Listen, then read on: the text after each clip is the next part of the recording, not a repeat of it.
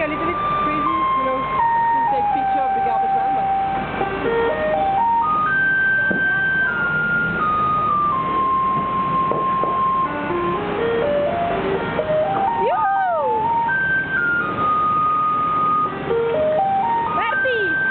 Ithaca! Ithaca!